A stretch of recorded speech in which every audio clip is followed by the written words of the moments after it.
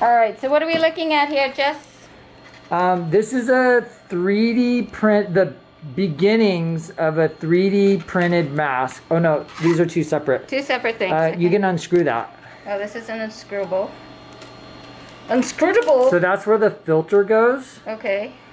The filter goes in there. Ooh, cool. Nice filter. Yeah, just test, see how it's threaded. I'd never done threads, so that's pretty cool. Those are 3D printed threads. No, no, do the regular. All right, let me go over here.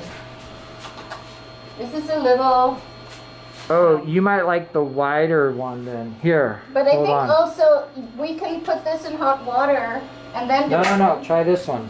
Bit better. No, the nose is is European. They recommend having a, um, a gasket, which I haven't found yet.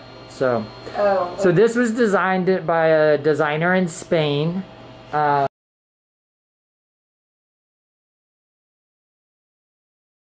and I'm just trying to check it out and see like how it works or if we like it or you know I have a lot of ideas but there's still a lot of details that need to be um, added to it. Oh right. Can I turn this You off put now? It down. You put it down? Oh, down. put it down. Yeah, and I'll turn it off. Oh,